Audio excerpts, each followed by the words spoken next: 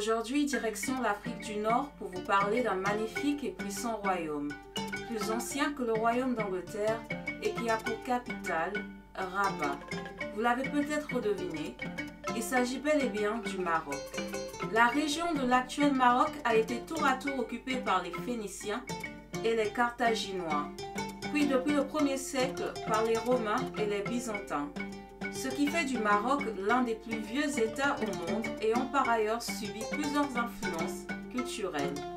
Au 7e siècle, les Arabes conquirent la région et apportèrent l'islam.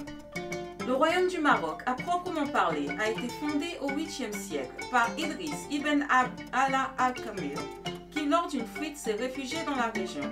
Il parvient à rallier les tribus locales à sa cause. Idriss est investi imam et fonde la ville de Fès sous le nom d'Idriss Ier. C'est le début de la dynastie des Idrissides, la première du royaume. Le Maroc a dès lors connu une succession de dynasties musulmanes, dont les plus importantes furent les Almoravides qui régnèrent de 1096 à 1174 et les Saadiens qui régnèrent de 1548 à 1660. On doit le nom Maroc aux Almoravides qui fondèrent la ville de Marrakech, autrefois appelée Marak, qui devint par déformation Maroc. Les Almoravides étaient aussi des conquérants. Ils sont célèbres pour avoir détruit le glorieux empire du Ghana. Le royaume connut une période faste sous le règne des Saadiens avec une grande expansion, tant au niveau territorial qu'au niveau culturel. Au milieu du XVIIe siècle, la dynastie des Alaouites accéda au pouvoir.